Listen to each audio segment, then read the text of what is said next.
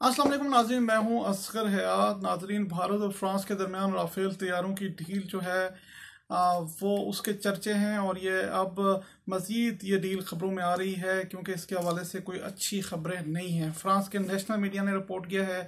कि इस डील में बड़े पैमाने पर बेजाबतियाँ पाई गई हैं और इसको रिपोर्ट किया है भारतीय मीडिया ने कि इसमें मिडल मैन को एक मिलियन यूरो अदा किए गए हैं। और ये यूरो, एक मिलियन यूरो जो है, दस लाख यूरो, ग्यारह लाख यूरो जो है वो फ्रांस की सौ एविएशन ने जो है वो अदा किए हैं इस शख्स को और इस शख्स का किरदार है इस डील में को बनवाने में। और जो मोदी के सर पर जंग का भूत सवार है और जो जिस तरह से उसने पड़ोसी ममालिक के ख़िलाफ़ महाज जंग जो है वो खोल रखा है। उसकी तमाम जो कड़ियाँ जो है वो अब जुड़ना शुरू हो गई हैं कि कैसे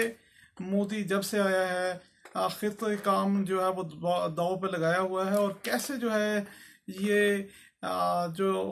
अमन को दाव पे लगाकर हथियार खरीद कर उसमें अपने ही लोग जो है मिडल मैन जो है, उनको जो एक मिलियन यूरो का जो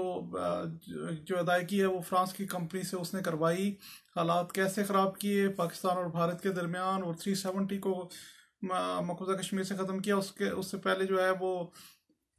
पुलवा, जो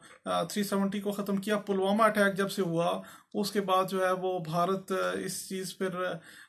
कोशिश कर रहा था कि पाकिस्तान में आकर कोई इस तरह की कार्रवाई करे और फिर जब सताईस फरवरी को हमारी अफवाज ने, हमारी पाक फजैया ने मुँह तोड़ जवाब दिया तो उसके बाद मोदी मुँह लटकाए हुए जो है वो कौम के सामने रो रहा था और उसका ये कहना था कि अगर राफेल होता तो भारत जो है वो उसको ये दिन ना देखना पड़ता। असल में वो राफेल जो है वो भारत की हिफाजत के लिए, भारतीय शहरीों की हिफाजत के लिए नहीं ख़रीद रहा था, बल्कि अपनी जेब गर्म करने के लिए, अपनी करप्शन के लिए ख़रीद रहा था। ये आज वाज हो गया है, क्योंकि एक मिलियन यूरो की जो है वो अदायगी की गई है मिडल मैन को, और ये फ्रांस की एविएशन कंपनी की तरफ़ से की गई है, और फ्रांस की एंट्री करप्शन एजेंसी जो है वो तहकीकात कर रही थी, और ऑडिट जब कर रही थी इस डील का तो उसमें ये बात सामने आई कि ये अदायगी की गई है और कहा यह जा रहा है कि ये नरेंद्र मोदी के जो है वो फ्रंट मैन हैं जिनको वो अदायगी की गई है। अब एक तो जो राफेल मिलने के बाद जो जश्न मना रहे थे भारतीय, उनको ये बात समझ जानी चाहिए कि मोदी ने उनके साथ क्या किया और कैसे जो है वो एक मिलियन यूरो जो है अपने फ्रंट मैन को दिलवा कर और महँगे तरीन राफेल ख़रीदे और कैसे वो खत्े काम दाव पर लगा रहा है। महँगे तरीन इस वजह से कि ये डील हुई थी कांग्रेस के दौर में भी, और कांग्रेस के दौर में ये डील कुछ मुख्तलिफ़ थी, और अब ये डील जब मोदी आया है, उसके बाद ये डील कुछ मुख्तलिफ़ थी। कांग्रेस के डील दौर में जो है वो नबे करोड़ नबे हज़ार करोड़ की ये डील हुई थी, और इसमें जो थे 126 तैयारे जो थे, राफेल तैयारे भारत ने ख़रीदने थे। कांग्रेस के दौर में जो डील हुई थी, उसकी बात कर रहा हूँ कि नबे हज़ार करोड़ की डील हुई थी और 126 तैयारे जो थे, वो भारत ने ख़रीदने थे, जिनमें से 18 तैयारे जो थे तैयार शुदा तैयारे भारत पहुँचने थे और 108 तैयारे भारत में बनाने थे और एक तैयारा जो है, वो 714 करोड़ का भारत को पड़ना था। लेकिन उसमें एक्स्ट्रा कॉस्ट सारी चीज़ें मिलाकर। लेकिन अब जो डील मोदी साहब ने की, इसमें साठ हज़ार करोड़ की ये डील की गई और इसमें छत्तीस तैयारे जो हैं वो राफेल तैयारे फ्रांस से ख़रीदे गए जिसमें से जिनकी एक तैयारे की कॉस्ट जो है वो सोलह सौ अठतीस करोड़ बनती है एक तैयारे की कॉस्ट और ये ख़ुद आप सोच लें कि तीन गुना ज़्यादा कॉस्ट पर ये एग्रीमेंट किया गया, ये डील की गई। और लेकिन भारत की सुप्रीम कोर्ट जो है वो ये मानने के लिए तैयार नहीं है। उसने मामला दबा दिया है। भारत की जो ऑडिट हुकाम है, उन्होंने ये मामला दबा दिया है। और किस तरह एक इतना बड़ा स्कैंडल जो है वो दबा दिया है? फ्रांस के हवाले से, फ्रांस तो वैसे ही इन चीज़ों में मशहूर है। और फ्रांस के जो लीडरान हैं, वो कैद भी होते रहते हैं, गिरफ़्तार भी होते रहते हैं। और ये बड़े स्कैंडल्स जो है वो फ्रांस के साथ सामने आते हैं, लेकिन इस टाइम जो है वो भारत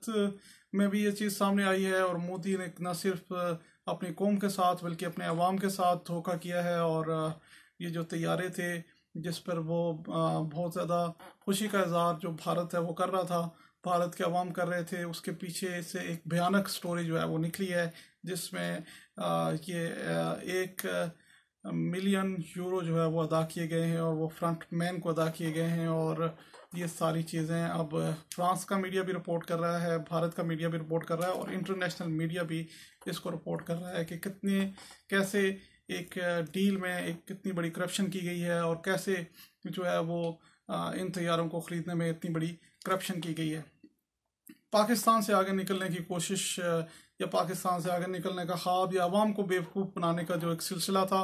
वो खुलकर सामने आ गया और पाकिस्तान ने जो भारत का के तैयारे गिराए। पाकिस्तान ने जे एफ़ सेवनटीन थंडर जो है वो